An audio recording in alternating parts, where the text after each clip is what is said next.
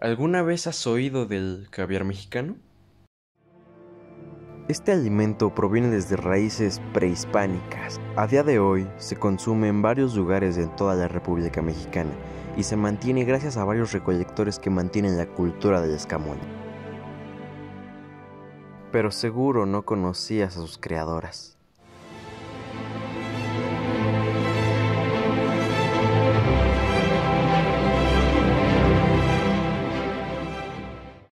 Pues prepárate porque hoy las vas a conocer.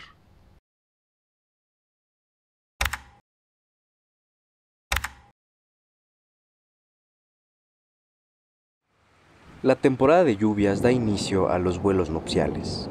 En este, princesas y machos salen a volar con el fin de reproducirse. Comienza la temporada y estamos en busca de una sola especie.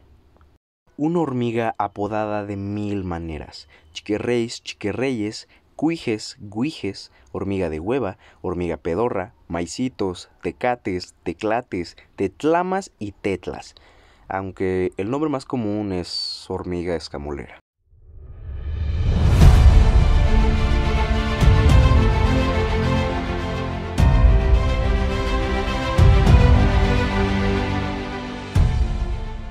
Liometopum apiculatum, mejor conocida como hormiga escamolera. Pero antes de verla vamos a conocerla un poco más a detalle.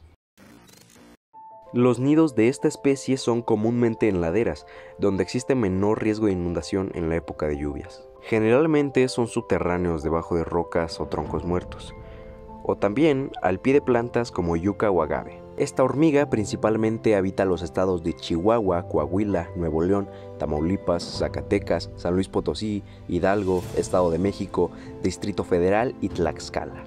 La puesta de huevos inicia de 2 a 3 días después de los vuelos. Esta reina, en comparación con otras especies, pone muchos huevos en su etapa inicial. Como notarán, esta reina es mucho más grande que sus obreras, lo cual de cierta manera sí facilita su crianza en la etapa inicial. Las primeras obreras nacerán en un promedio de entre 45 y 60 días después de la puesta. Hace unos momentos mencioné que los hormigueros de esta especie se encuentran al pie de ciertas plantas, principalmente agaves, y esto tiene una razón de ser. Esto se debe a que las hormigas se alimentan de los néctares extraflorales que producen principalmente los magueyes mezcaleros, como es el aguamiel o el pulque. Esta hormiga, además de ser muy escapista, llega a tener un crecimiento muy exponencial. Esto se debe gracias a que la reina tiene una gran capacidad para poner huevos, con una capacidad de miles de huevos por día en colonias muy avanzadas. Y con esto damos pie al caviar mexicano. Pero retrocedamos un poco. Sabemos que los escamoles son los huevos de esta hormiga. Entonces, ¿nos ¿Podemos comer eso que tiene? Pues no. Además de que estarías matando una posible colonia ya que esta reina está en su etapa inicial, pues realmente estos no son los verdaderos escamoles. ¿Y a qué me refiero con esto? Para producir el escamol solo se busca la fase de pupa de la casta reproductora de esta especie, lo que quiere decir que no todos los huevos de esta especie de hormiga se pueden usar como escamol. Se dice que el sabor de este es muy parecido al de la mantequilla, por lo tanto, este lo sirven con cosas más suaves para que resalte su sabor.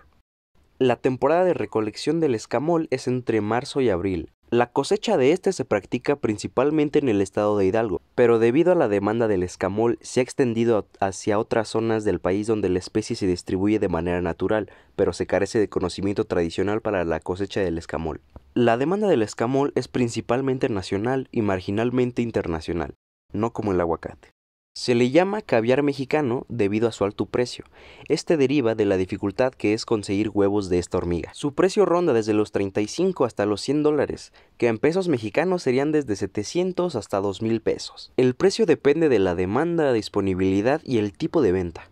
Y bueno, esto fue todo por el video de hoy. Si me faltó algo, eh, déjenlo aquí en la cajita de comentarios si pueden o si quieren, no olviden dejar su like y nos vemos en otro video.